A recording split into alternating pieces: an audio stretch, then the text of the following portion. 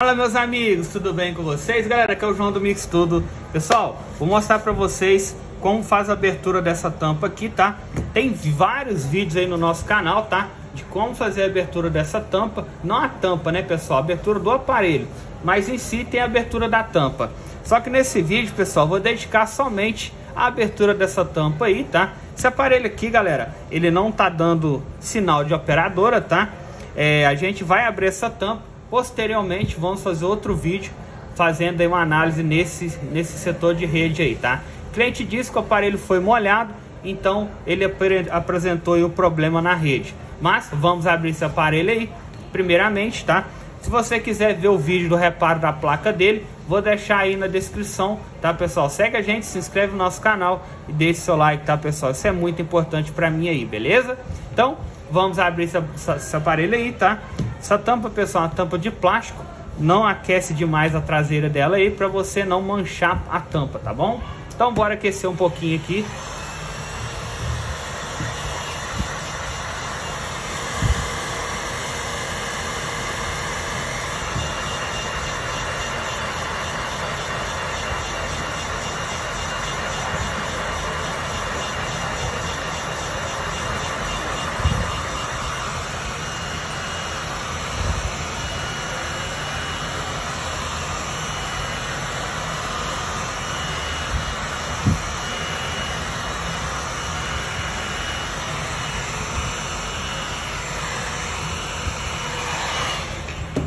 Muito bom, galera. Vamos pegar nossa espátula de aço, álcool isopropílico, tá? E vamos utilizar uma espátula de borracha também, de plástico, na verdade, tá? Pega no cantinho aqui, fez a abertura e tira a espátula de aço, joga aqui o álcool isopropílico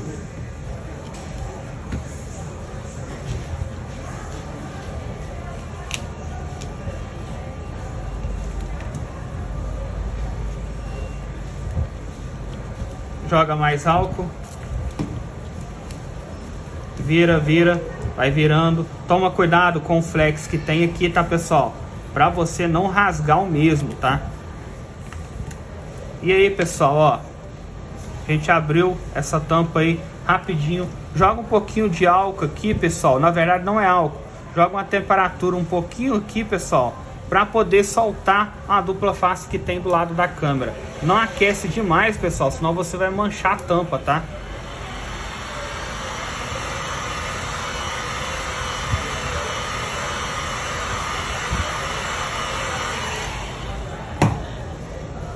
Ó.